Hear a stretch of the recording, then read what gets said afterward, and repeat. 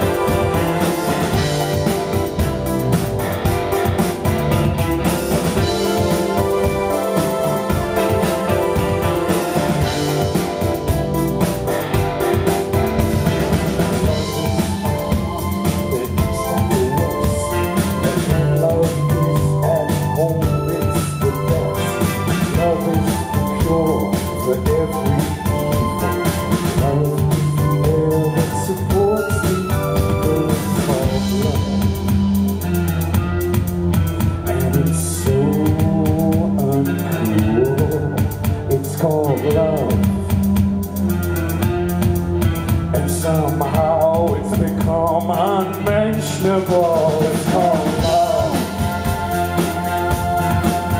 And it belongs to everyone but us.